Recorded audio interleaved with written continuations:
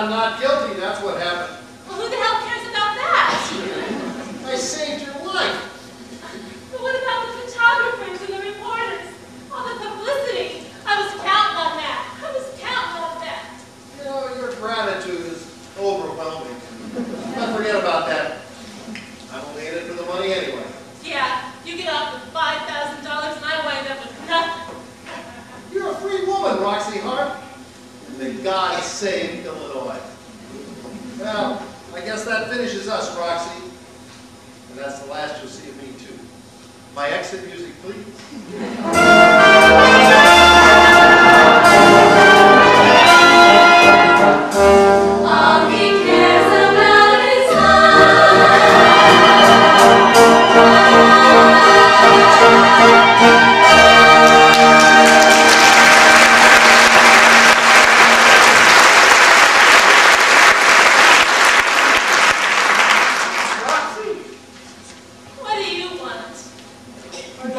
come home.